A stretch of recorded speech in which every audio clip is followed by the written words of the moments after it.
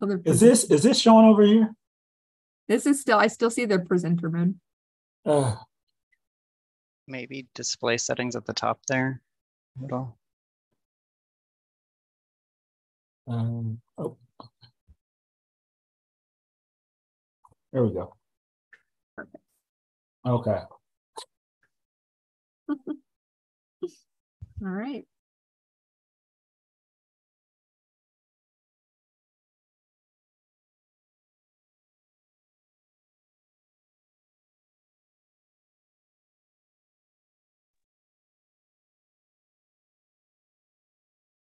All right, we're letting everybody in. Live stream is good. I'm gonna go ahead and start the recording and you can get started, Jarvis. Okay.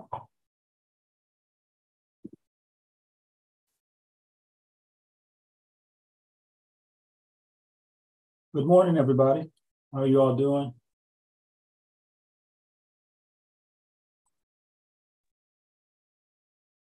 Good, good morning. I'm having a little bit of uh, technical difficulties, but got a lot of screens going up. It's first time trying to share a PowerPoint with everyone, so making sure I can see everyone.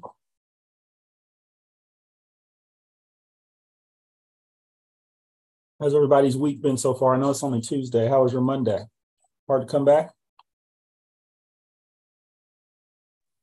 Mondays are always hard. Yes, they are. And the weekend always goes by so quick. It does, but this fall weather is starting to help these fall Yeah. activities. I mean, I know it's a little toasty still, but it's it's a nice change. It is definitely.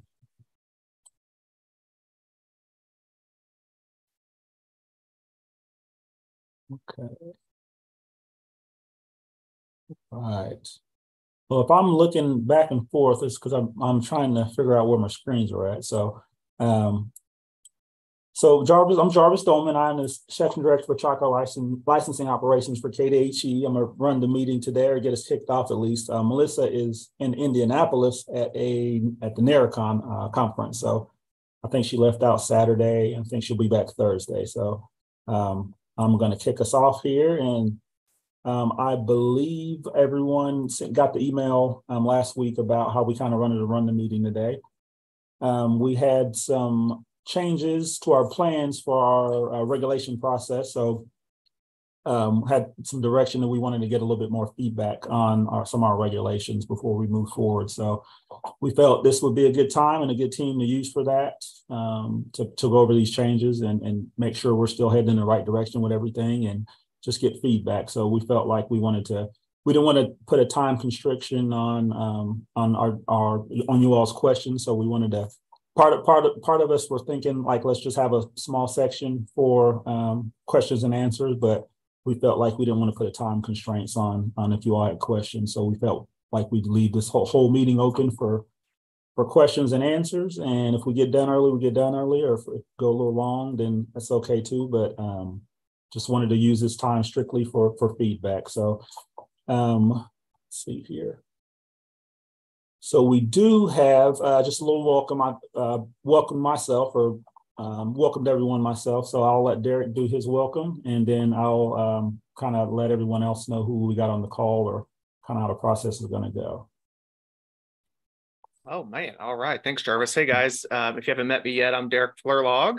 I am one of the bureau directors in the Bureau of Family Health here at KDHE, along with our co-director, Dr. Uh, Jesse Piper. I directly oversee childcare licensing and then our state WIC program, as, where, as well as our administration and policy team, which houses most of our regulatory work. Um, blessed to be here with you guys this morning. Super excited to sort of get some of these um, final proposals in front of you and get some feedback before we enter. Um, I mean, we're beyond the final stages. We, we enter that very final stage, I should say, of um, getting updated regulations submitted and kind of going through the official process. So I do want to thank everybody. Um, everyone's provided feedback in, in different capacities. This group is a well-rounded uh, group of experts in your respected fields, and everyone has different levels of expertise in different areas. And so it's been a really great opportunity to get feedback from you all on a variety of things. We appreciate all of the emails, all of the uh, survey responses, uh, the PDF documents that we've received from some, the in-person meetings that we've had uh, with some that were requested, um, Zoom calls, Teams calls, all of that stuff has been wonderful. And um, I think we feel really, really good about the work that's been done. And I also want to shout out our team here. They've uh, lived and breathed uh, regulations um, about as much as you possibly can uh, for the last several months. Um, and so thankful for the work that they've put into. Um, to be quite honest, it's easy for me when you have a team like this that's that's kind of with you in it. So um, appreciate all the work that everybody's done, and feel free to uh, let us know if you need anything, regulatory or not. Thanks, Jarvis. Yep. Right, we'll move to the next slide. And um, Derek mentioned the, the team here. So we got Allison and Lucas here. So I'll just let them give a waiver if they want to introduce themselves again. Um, we can go from there. Yeah. Hey, good morning, guys. I'm Allison Dalrymple. Um, you may remember me um, giving the last two SIT presentations that we had over the summer. So I will be kind of facilitating the Q&A session in just a bit. Um, yeah, general updates, I guess. We're essentially done with our initial drafts of all the regulations. I'll go in a little bit more detail um, about the email that you guys received as we go into the Q&A session as it starts. So I'll wait to do that. Um, I'll let Lucas introduce himself. Sorry, it wasn't unmuting. Hi, everybody. I'm Lucas Ryan. I'm the Regulation and Policy Specialist in the Administration and Policy section of the Bureau. Um, I mostly do kind of support role, research, drafting, things like that. I'm just here to help the process go smoothly. Right. And also to uh, help us facilitate questions today, we got some uh, our licensing uh, other staff on, some uh, DS, DSs and uh, a few surveyors, I believe. Um, they're going to help with the process. So I don't know if you all are KDHE surveyors and, and staff. Um, if you wanted to wave your hand, if you want to come off mute and say hello, um, however you wanted to. Um, Jennifer or Tina, if you, any, any of you guys want to do that. Quick wave. Right.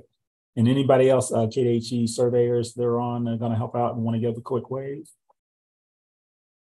All right. Okay, so yeah, we're just gonna go ahead and move into it. Um, hopefully everybody had a chance to read over everything like Allison said, and I'll pass it over to her and kind of open things up. All right, good morning, guys. So I'm just going to give a quick recap over the email that you guys received, just a super quick recap over the entire regulation process like I did um, initially, and then we'll just get started into the Q&A. So I believe on the 14th, um, you guys should have all received an email from Clayton um, about the SIT meeting. So when we kind of changed gears um, about where we were going with the SIT meeting today.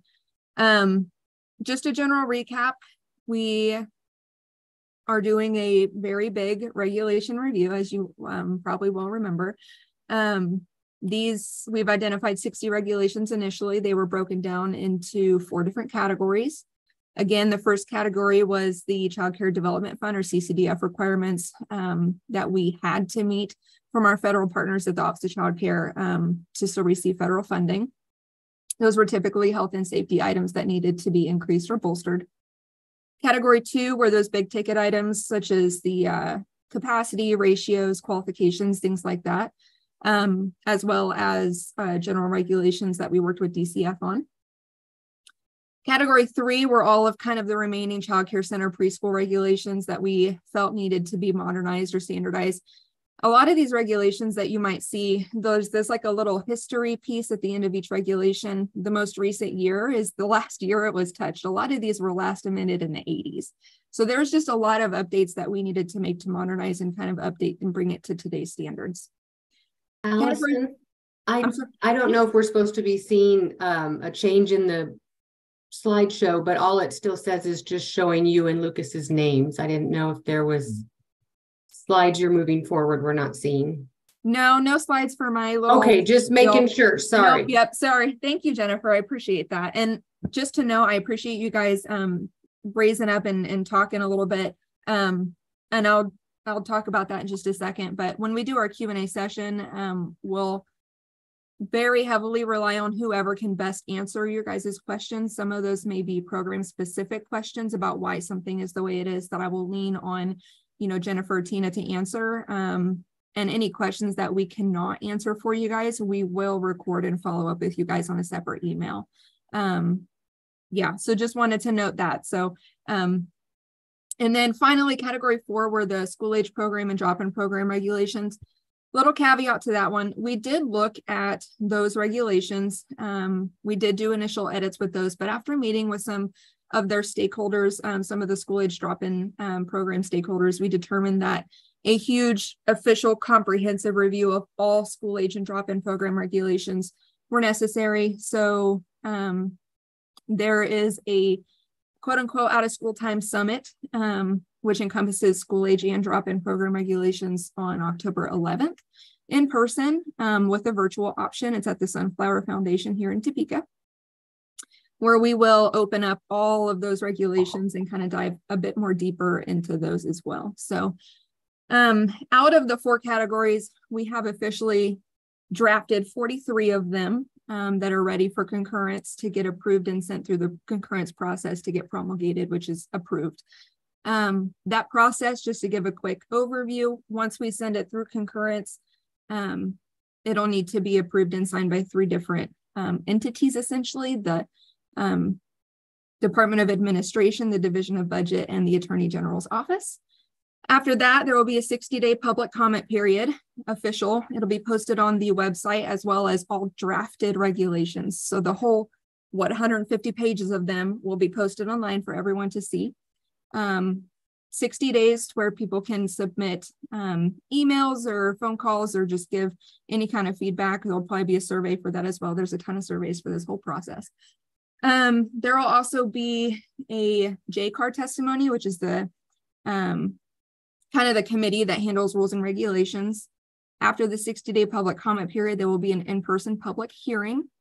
Um, it'll be one for all of the regulations, by the way. Um, and that'll be I don't know where that will be held. We'll kind of have to get a, a gear on how many people are going to be showing up or how many we expect, but that'll just be a chance to receive written um, and verbal testimony, but not a forum for any kind of discussion. So that's kind of what that looks like.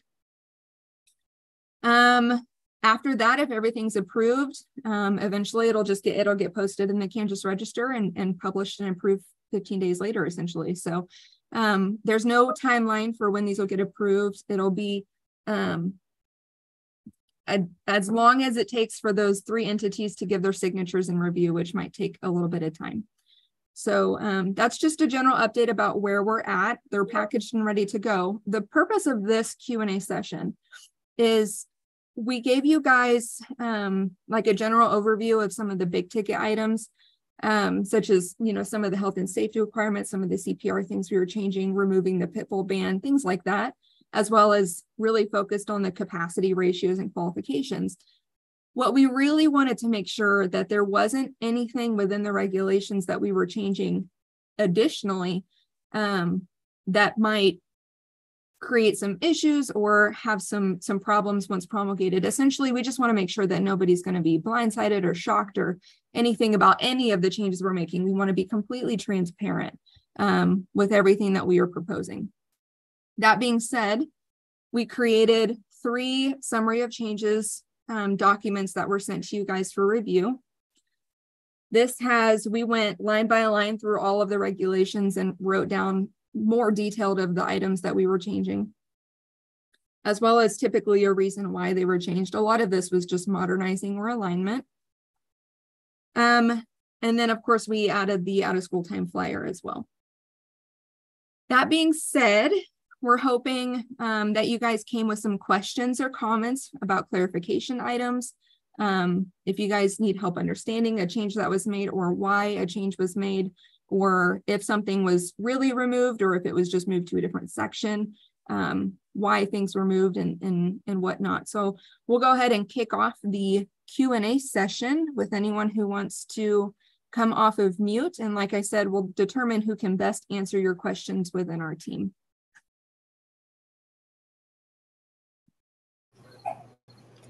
Can you hear me okay? I sure can. You can hear me? Okay. Um, mine is, uh, deals with the family child care homes. I just had three items I wanted to ask about. One is a medication training going to be yearly was one thing. Um, then on for breast milk, and um, will that will you be able to write your own policies on breast milk? And then on three, prohibiting swaddling. On that, I think you should have the AAP website, or I have looked into that and I can't find where they are now prohibiting swaddling. Yeah, absolutely. Thank you. Um, then with that also will be, will you still allow sleep blankets? Sleep blankets? Yes. Okay. Yeah, so those are really good questions. Um, thank you. Uh, for number one, the medication training, this is not necessarily going to be annually. This is just going to be everyone, I believe. I'm yeah, someone correct me if I'm wrong, and I'm going to caveat that literally with every answer that I give. Um, it's going to be initial for everybody, a part of orientation um, and the initial health and safety training for everybody.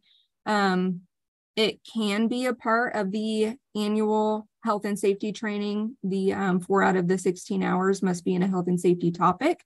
So that can be included um, as one of the 16 hours of, of annual in-service training. Um, but as far as I'm concerned, it is not going, it's not mandated to be an annual training, um, just initial. The breast milk policy. So we worked with our partners at the Kansas Breastfeeding Coalition to come up with this language. Um, you are more than welcome to create your own breast milk policy as long as it meets the minimum standards that we have within regulation. So just making sure the reason that those were put in there is just to make sure that the kiddos stay healthy and the breast milk is fresh and, and hasn't expired and just making sure the storage of that is correct.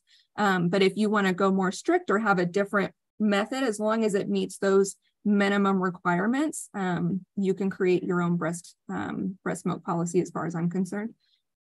And then the swaddling prohibition, we'll have to find the actual research for that. Um, I wonder if I can have Lucas, if you can do a quick search. Right okay, now. cool. Yeah, I was typing in the chat. Sounds good. Awesome. Um, so he'll he'll follow up with that one.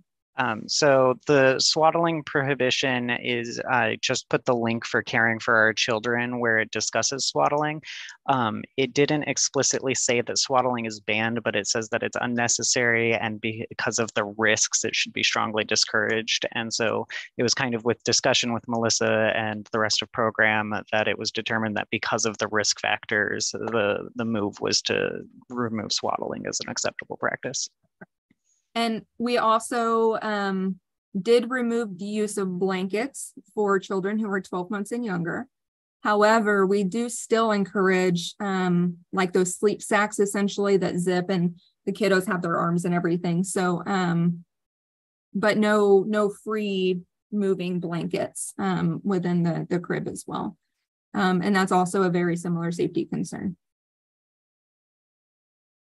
Thank you. Does that answer your questions? And anyone, again, correct me if I'm wrong during this entire process. This is Christy Schunn, and I work for the Kansas Infant Death and SIDS Network. And so um, everything you just said is um, kosher from what I'm hearing. So, I mean, they haven't outlawed swaddling, um, but I can see where they put it in regulations. It's kind of a hard line to explain to families. So, I can see why they put that in there. So, I think you're both right. Um, and the wearable blanket um, is what we call the sleep sack. Sleep sack's kind of a trademark, and so we try to refer to it as um, a wearable blanket. And then the the real goal is to keep loose blankets out of the bed. Um, the thing that's hard about swaddling is that babies all flip over at different times. And what we don't want is swaddled infants on their tummies. And so that's a real hard line to figure out. So I think that's probably why you're saying what you're saying. Along the lines of safe sleep. Um, so I sit on the other committee with Melissa.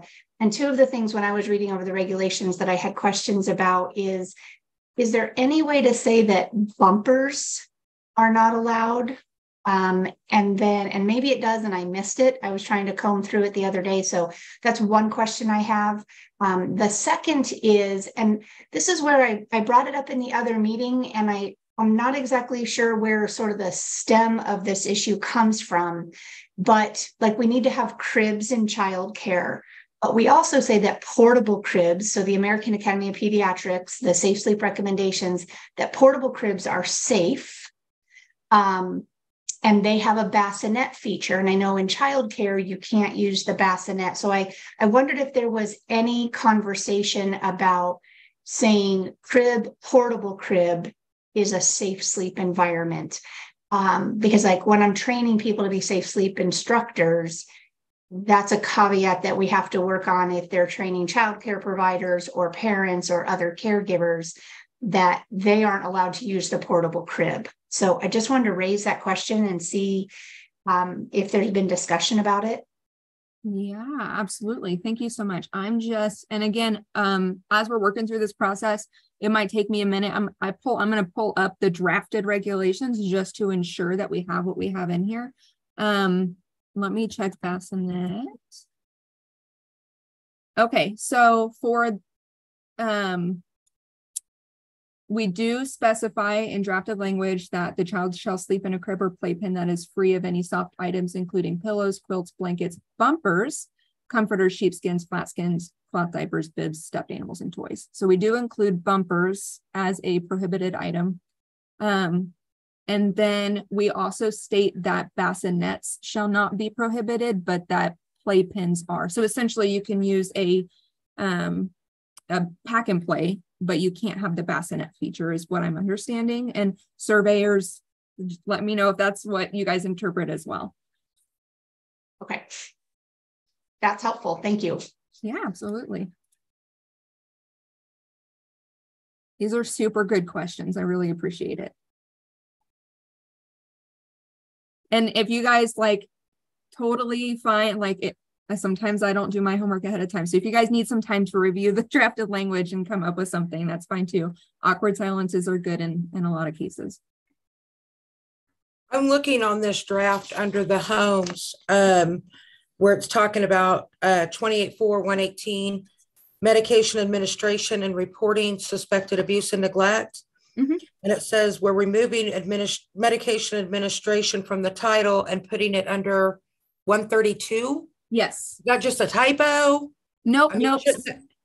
Yeah. So medication administration training requirement itself is now within the um, orientation and initial health and safety training. So we added medication administration training as an object to be put in the health and safety slash orientation for the 114.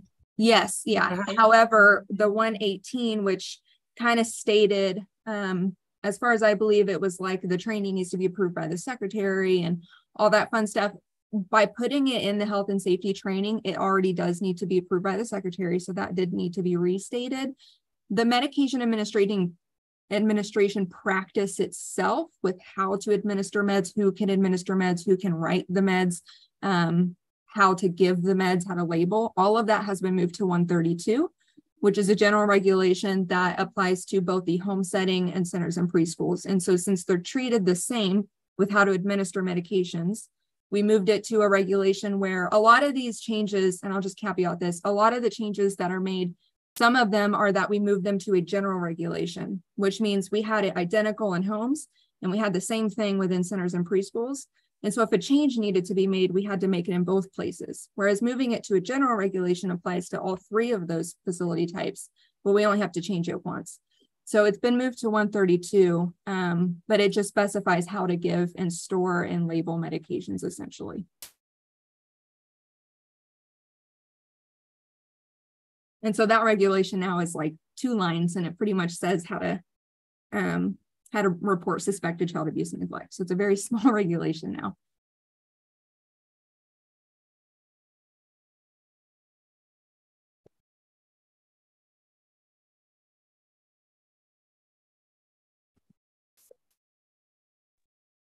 Um, um I, go ahead. I had a quick um, question. on 28 for 428 for staff requirements. Yeah. Um, it states uh, allow a child to move to the next age appropriate unit 30 days before or 30 days after the intended move up date, which I think is great. Um, I'm wondering, does this does the phrase next age appropriate unit now take off the condition of walking for transition between infant and toddler?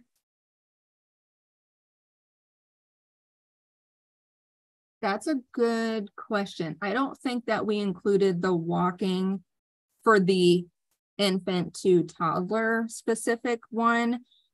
I believe, and this may be an interpretation thing within the centers themselves. Um, in practice, I would assume that if a child is moving up from the infant to toddler unit, that walking is to be a requirement. Um, so say they're walking at 11 months old, then they could move up to the toddler unit. Um, as far as I'm concerned, but that wasn't written specifically in there because we wanted it to span across all of the age specific rooms.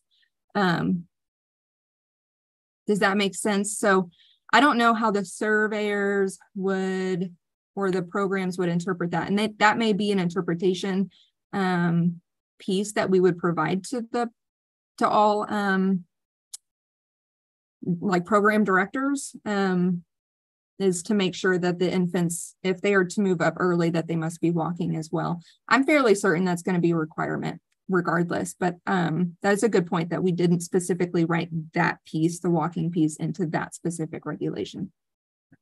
Well, I guess my feedback would just be to remove the walking piece and instead use more inclusive language along the lines of um, you know, a developmentally appropriate classroom or the classroom and the teacher or the teacher and the parents has a plan in place to address any safety concerns for the child to remain in the more developmentally appropriate classroom yeah. just so that that one motor milestone isn't the barrier between a developmentally appropriate placement for children yeah, absolutely. Let me actually, I'm going to go ahead and just read the proposed language and see what it sounds like. um, each applicant with a TP or each licensee may move any child into the next age appropriate unit not earlier than 30 days, 30 calendar days before, not later than 30 calendar days after the child reaches the minimum age of the unit. So the next age appropriate unit. Upon agreement with the parent or legal guardian that the move is in the best interest of the child, a plan to move any child to the next age appropriate unit shall be developed and communicated with the parent or legal guardian. So essentially, the parent needs to agree um, and it needs to be in the best interest of the child. Allison, can I? I wanted to point out that the part about walking is part of definitions of what an infant or what a toddler is. So my understanding is that isn't changing in this regulation review that we're doing. So, um, you know, it might be that if they're getting ready to walk or they started toddling, but they're not walking super steadily yet or something of that nature, it would be appropriate to start that transition process to the next room. But the walking is part of the definitions. That would be why it's not in the specific regulation that you're addressing right now. Thank you, Jennifer. So then I guess my feedback would be to change the definition to be inclusive. Thank you.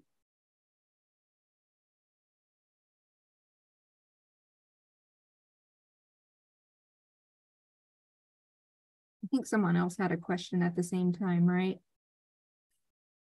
I did. It's also a definitions question, but on well, maybe, but on a slightly different track. So when we're thinking about um, qualifications for um, centers, for program directors, and for teachers, I really appreciate um, all the conversations we've had about staff who might be moving from uh, teaching in accredited public or private schools into teaching in licensed childcare facilities and places where um, they might not have had previous experience in a licensed facility.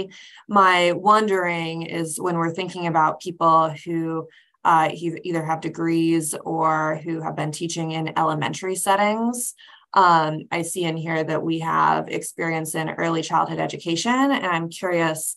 Um, I think we can probably all agree that that begins at birth, but when we're thinking about the upper age range of early childhood education, uh, is that something that would get into the early elementary ages, or are we envisioning birth to five? And my hope is that it gets into that early elementary.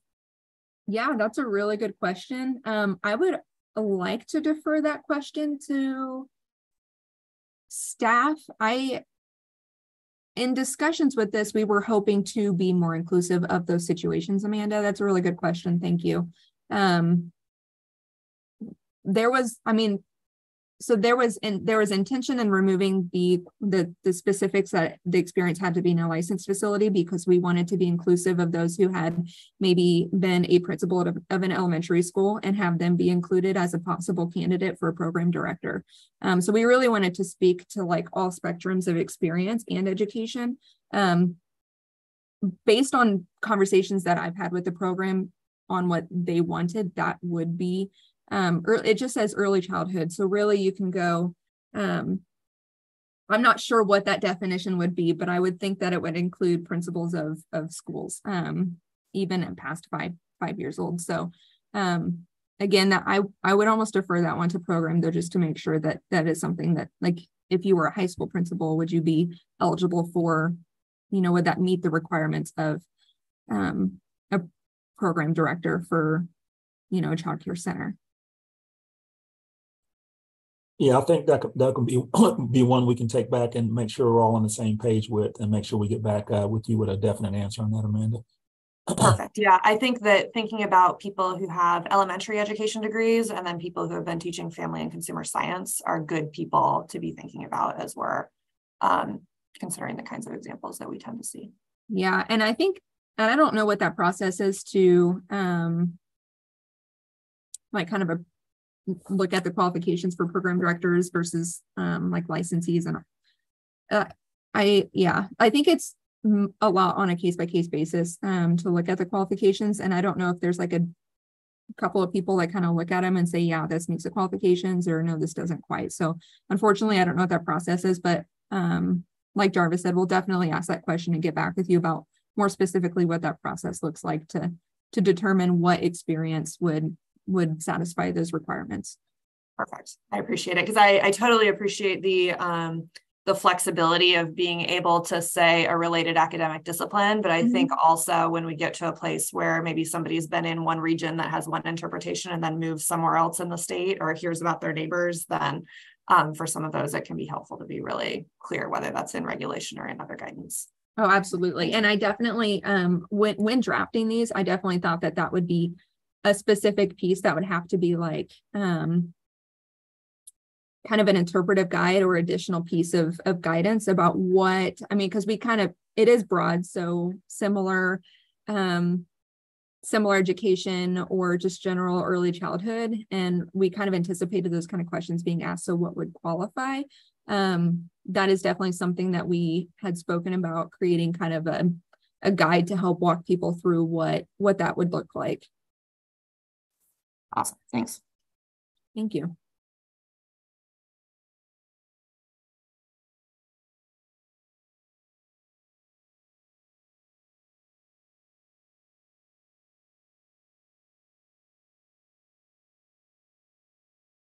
And I did want to bring up the tables. Um, they are the same as the last time that they were presented to you.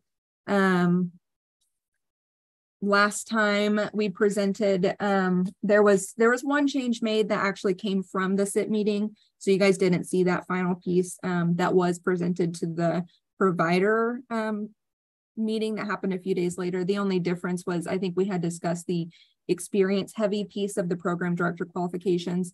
I think it said four years and that was it um, but we changed it to six years or four years in a licensed facility to meet some of that education requirements um, that was um, expressed to us that would like to be in the regulation itself. So that was the only piece that's been changed since you guys last saw all of the ratios, qualifications, and tables.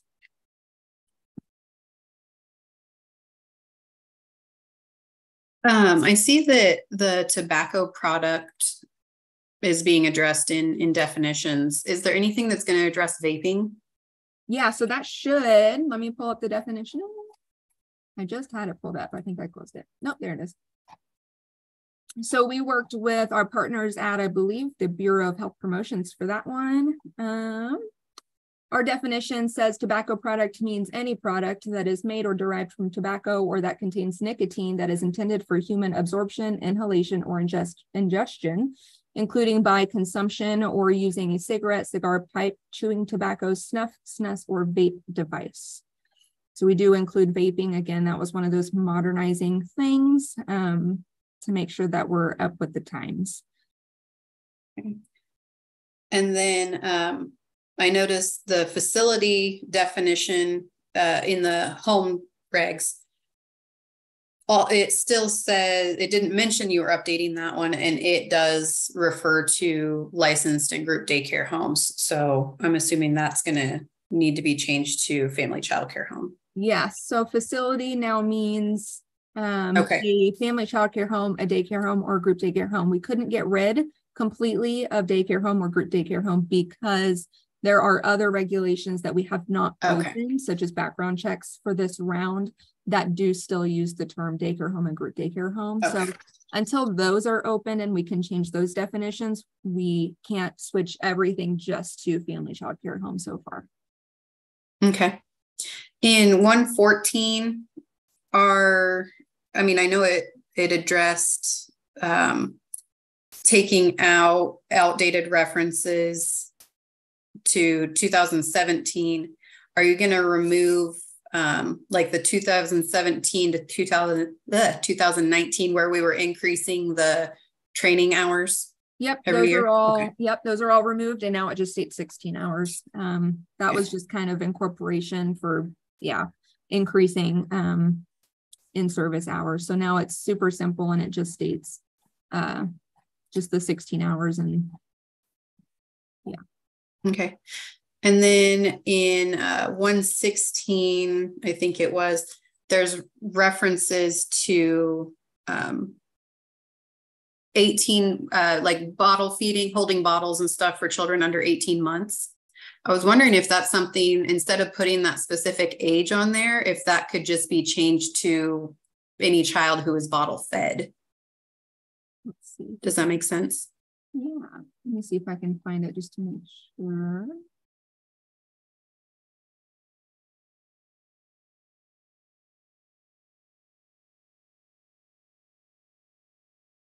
And those, I mean, I don't know that those were directly related to the breast milk preparation or formula preparation.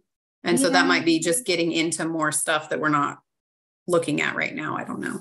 So it does look like we left the, so if a child under 18 months of age is in care, the following requirements shall be met. Um,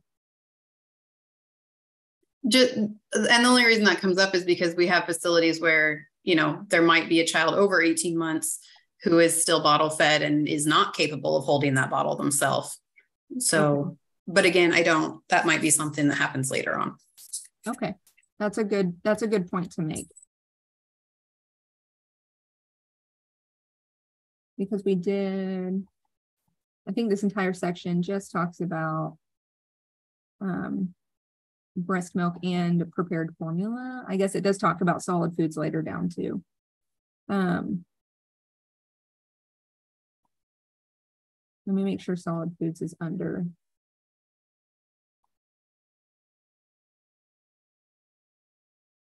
Okay, so yeah, we would have to kind of rework the whole section. It just because it states um it talks about solid foods too. So I think that's why we put an age limit on it. Um as well as this, yeah. So solid foods was the only one. Anyway, that is a good point to make, and I'll um we'll talk about it with the program. There are um just a caveat there this this past legislative session there was a law that was passed that states that all state um i think it's all state agencies at least according or at least applicable to us here at kdhe um, we must review all regulations um, every five years. So um regardless just a caveat the other regulations that we haven't touched will be opened within the next five years as well um as well as these will be reopened um so depending on if updates and changes are substantial versus non-substantial, like this is best practice or this needs to be changed right now versus this is a good idea. Um, regardless, we will be opening these up again um, in the next couple of years just to meet the, the new law requirements. Um, so just to caveat that as well. I'm not saying that we're going to push everything off till five years later, but just to caveat that it's not going to be another 40 years before these are opened. Okay, um, on two, well, one twenty-seven, it says the entire medical record, not just the health assessment and emergency medical treatment form must be taken to the medical facility if emergency medical treatment is needed. Um, is that going to include immunization or just those three, the medical record, health assessment, emergency medical release? Yeah, so the immunizations should be a part of the Okay. medical record. Okay. And we're caveat that as well. Um, we're looking, I know currently the um I have to and uh, program members, please correct me if I'm wrong. It's been months since we talked about this specific item. The health assessment form is called the medical record, but it doesn't include um, some of that. So essentially, like the form itself, um, I think it's the health history form. I'm not sure, but it's called medical record. We're kind of wanting to change that a little bit. The medical record should be the file that encompasses all medical information, not just the one form. Um, so the medical record as a whole should include the health assessment, the health history, immunizations, and then any other additional items. But those three items um, at a minimum should be in the medical record in the file itself. And those can be stored electronically. By the way, that's been a caveat that we've had to explain to a lot of individuals um, that that electronic is okay as long as it's able to be accessed all the time. Um, especially in, in um, emergency settings, or if your systems are down, there has to be a backup system, um, or if the program director is not there, someone else can access that information if needed. So electronic is fine, it just needs to be accessible. I think Bernie has a question. Um, yes, I have, so I have a couple of questions regarding um, the child care center. Um, and they're really definition questions. So I'm looking at like uh, attachment one and attachment two at the end of the document. And I see that um, there's not definition in in this particular um, table in attachment one for infants and toddlers. Um, and I'm wondering if that's going to be addressed somewhere else because we do define children over two years of age. Um, but not infants and toddlers. So the infant and toddler um, definitions are within um, 284420. Okay. An infant is a child between two weeks and 12 months of age, or a child over 12 who has not learned to walk. And then toddler, we did talk about um, toddler means a child who has learned to walk and who is between 12 and 30 months of age. Okay, so similar to what they are now. Um, and then my other question on that table, um, and then I can move on to attachment two. I see there's a mixed age option um, for infants and older children. Um, but there's not a mixed age option that doesn't include infants that would have higher ratios. Is that correct? Correct. Um, so you can have up to six children. If you don't want to have infants at all, all six of your kiddos can be, you know, 13 months or older. Um, but if you want to have infants, you have a cap of the infants that can be in care. Um, and this really speaks to, I think a lot of our small center pilots use this mixed age ratio. Um, and it kind of gives a nod to the home setting as well. But if you have like a general space, you can have you know, all like a wider range of kids that can be really accommodating to families and to centers depending on what they need. Okay. Um, and then, uh, I'm so sorry, Bernie. A lot of times the mixed unit is used for the beginning of the day and the end of the day in a child care center. So when you're first opening at 6 a.m. and you don't have as many kids yet and you don't need to be fully staffed, you know, you can open that one room and have kids in there for a little while and then you know divide them out to their typical classrooms for the rest of the day and then same at the end of the day. So that's also um, a purpose for that kind of a unit that's used very often. Um, and then my last question is, so I see that um, program director and lead teacher and assistant teacher qualifications have been um, kind of separated out. Um, and I did see that in the definitions that lead teacher and assistant teacher definitions would be added, but I'm wondering what those definitions are. Yeah, absolutely. Um, so it's super similar to um, program director. It just states that an assistant teacher is a staff member of a childcare center or preschool who meets the requirements in the new 429D, which is the, the assistant teacher um, section. Um, each assistant or, and who is responsible for assisting the lead teacher in the care of children within a unit. And then what we did was we added those. Um, I know we had a lot of discussion about the uh, I don't want to call them core competencies because they're not. Um, just essentially general things that each uh, staff member should be able to demonstrate. Um, so such as the ability to carry out assigned tasks, um, to implement age appropriate activities, um, understanding of and the ability to respond appropriately to children's needs, the ability to foster positive, healthy relationships with children, interpersonal skills necessary to communicate clearly, um, those are so those are the five for assistant teachers. So we had originally drafted that as being a part of the regulation that we showed you guys. Um, the reason that we moved it to definition is because we didn't want it to be kind of a an area for, I guess, like citation or some kind of negative connotation where we can cite in the absence of. We really wanted it to be kind of a guidance for the type of skills that that kind of staff member should be able to demonstrate when hiring um, so that was kind of the reasoning for putting it in the definition instead of in regulation itself, because there were some concerns that how are we going to cite this? Is it measurable? But that wasn't the intention of adding those in there in, in the first place. Um, lead teacher is super similar. So it's a staff member of a child care center or preschool who meets the requirements specified in 429C, so the, the lead teacher section, and who is responsible for the care and supervision of children within the unit. And then they also have the five um, being able to demonstrate just the general um, qualities of a lead teacher that we had already discussed. So those are what the definitions look like. We really just did it because we know that there wasn't a lead teacher definition, nor were the words lead teacher ever really stated in previous regulations. And it was a term that's used frequently, um, like in demonstration within the centers um, daily. So we definitely wanted to make it modernized and just make sure that we're using um, what is currently being used in today's childcare world.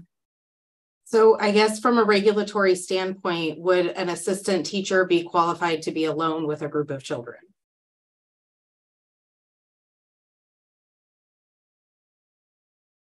Give me just a second to do some quick research and pull up the regs. Um, I think, do you care if I jump in real quick, Allison? Yeah, go ahead.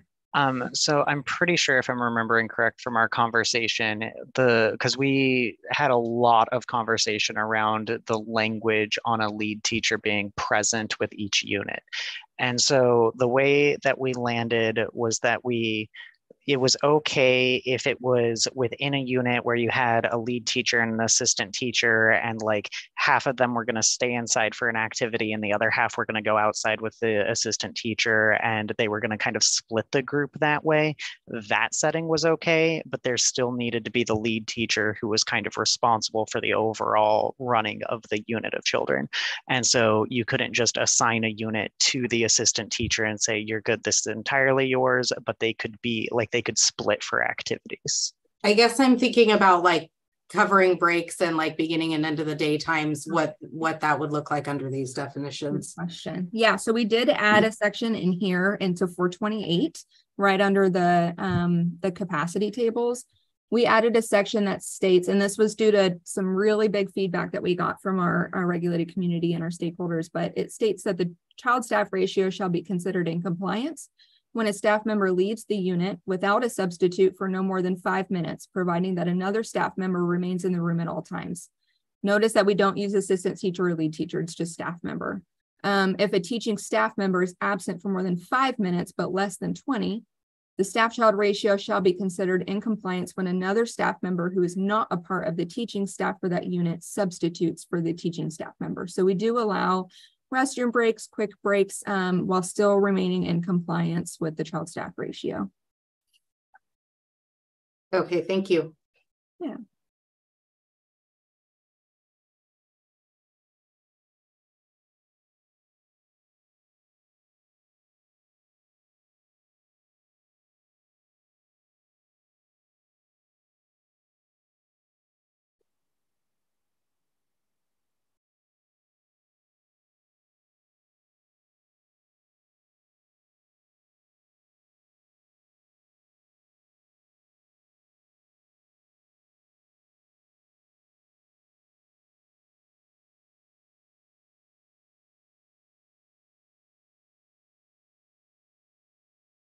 And silence is okay, I promise.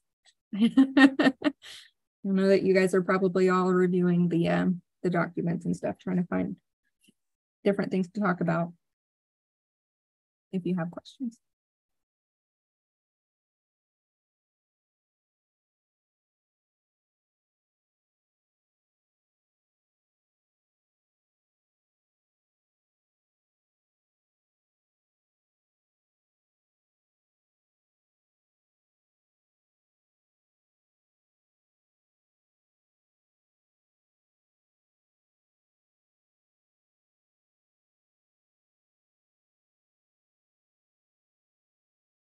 I know I just said silence is awesome, but I'm going to put another plug in here. Um, we also sent the summary of changes to all of our childcare providers as well. Um, using, I believe, the listserv from Claris. So um, they will also be able to review all of the changes that we've sent to you guys um, and provide feedback via a survey, again, another survey that we've created um, through survey one, two, three, um, just to solicit their feedback and answer any clarifying questions they may have as well, just as you guys have asked um, in today's session. So um, just to caveat that, um, yeah, so we're super excited to be super transparent with everybody and just make sure everyone's on the same page.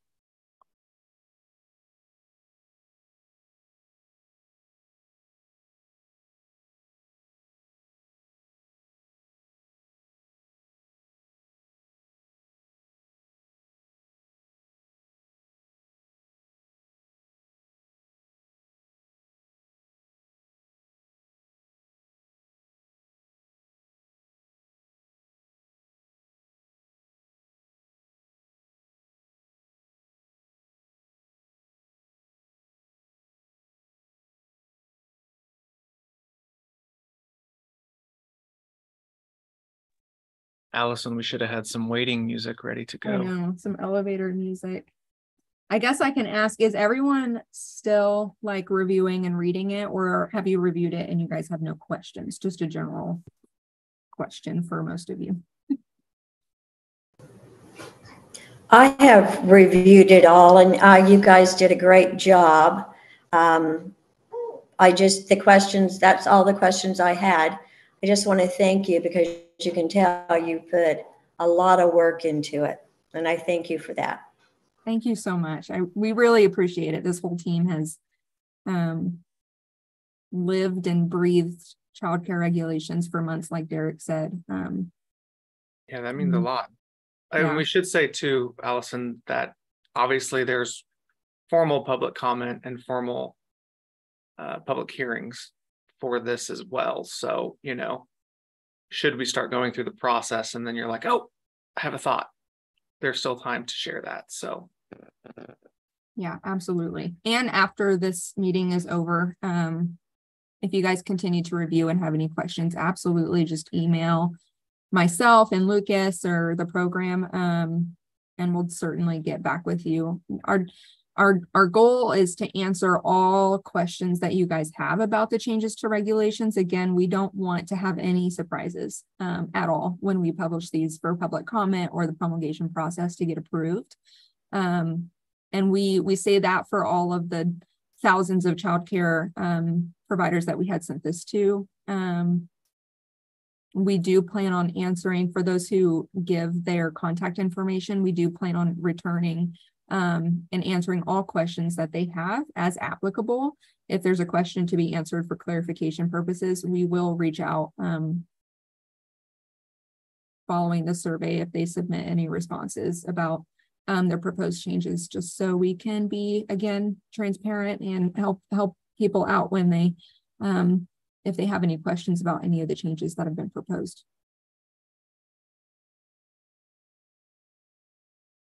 I'm excited to get these posted online, but again, there's like 150 pages, so there's a lot.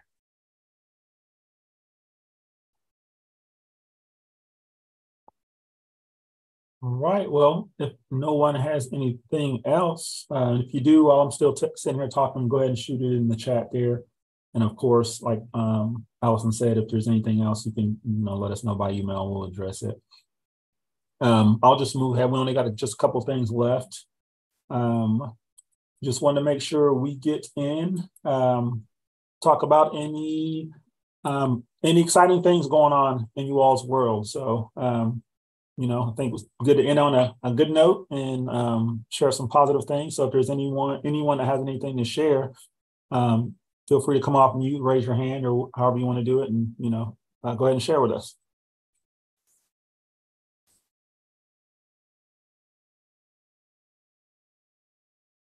Hi, everyone. Sarah from Child Care Aware of Kansas here.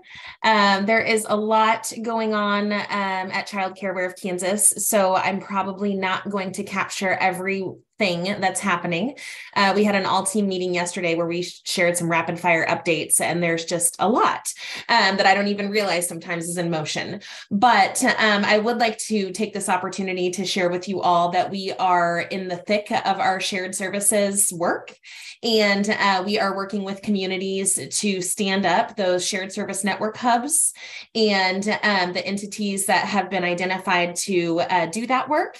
And we are still offering that uh, free for 14 months childcare management software usage for two of uh, the identified vendors that we have selected um, for providers. So there's a lot of really exciting stuff going on, and we're hopeful to uh, get as much engagement as possible so that we can continue to uh, advocate for this type of support. So uh, if you have any questions, please feel free to reach out and uh, we can chat a little bit more.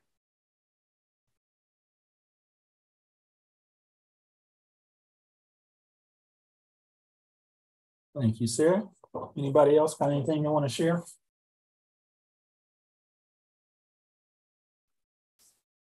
It's exciting to see um, some of the facilities are uh, implementing their accelerator grant funds and you know getting construction going, getting new things moving. So that's really exciting to see.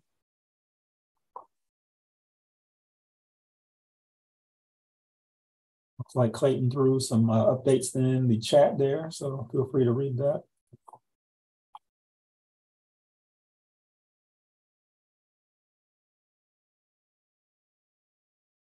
Okay, last thing here. Um, so we're going to do a little poll here. We got our, our upcoming meetings, but um, before we do that, um, we wanted to check with everyone to see, um, wanted to put out a poll there to see if, uh, if everyone wants to keep 10 30 to 12 or if we want to move back to 10 to 11 30 so um, i believe julia is going to throw out a poll there um, for us to uh, do a little voting here before we get off um, so we can have a consensus there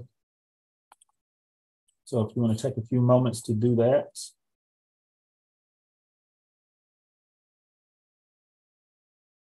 Sorry, Clayton, are you able to launch the poll? For some reason, it's not giving me the option anymore. Yes, I just launched it.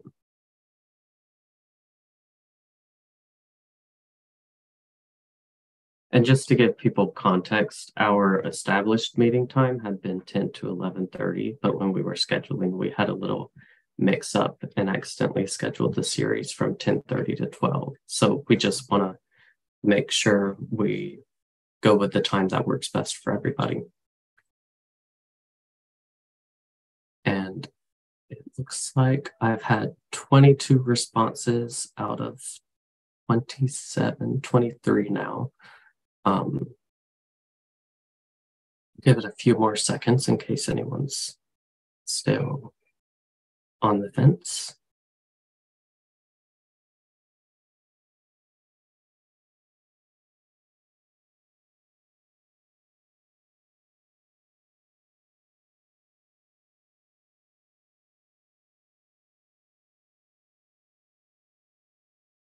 All right, looks like. Looks like it was pretty close. Yep. Came down to the wire, didn't it? Okay. Yes. So, um, based on these results, we'll probably switch the meeting time back to the 10 to 11:30 time that was initially established.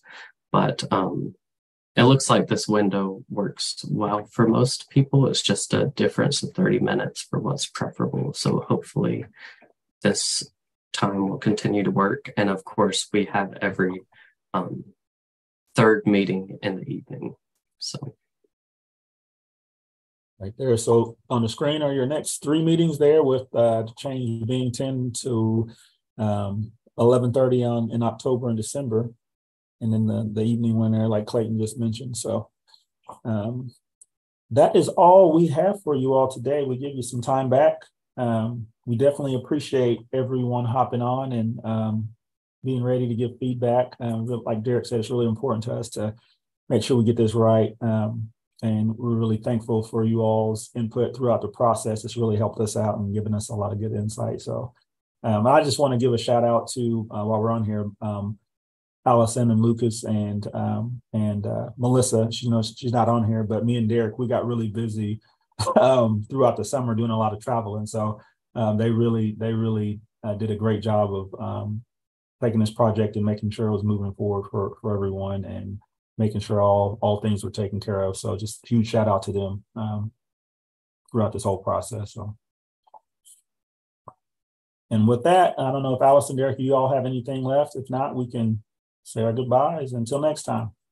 No, I don't have anything left. I dropped uh, Lucas and I's email in the chat. Again, if you guys continue to review um, the Word documents and you have any questions about if something was removed or just moved or what we meant by it or an interpretation of it, absolutely reach out to us at any time and we will be more than happy to get you that answer. And then Amanda, we will follow up um, with your question as well and provide you an answer as soon as we can.